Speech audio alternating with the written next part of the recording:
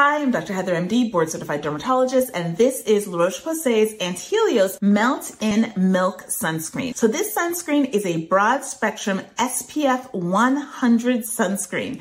So it really will provide very powerful protection. Now it's a sunscreen that can be used on the face and the body, and this is a chemical sunscreen. So unlike mineral sunscreens, it will not leave a cast. So it comes in a box like this, and the tube is a three fluid ounce tube. So when you open up the box, you can see this is the tube. It's a nice size tube. SPF 100 so really effective protection against the sun. And it is a melt-in sunscreen. So it's not going to leave the white cast that we see with mineral sunscreens. So if you're very concerned about that, this would be a good choice for you. So if you're looking for a nice hydrating sunscreen that you can use on your face, on the body, that doesn't leave a cast, you can take a look. You can see here that there's no white cast. This would be a good product for you.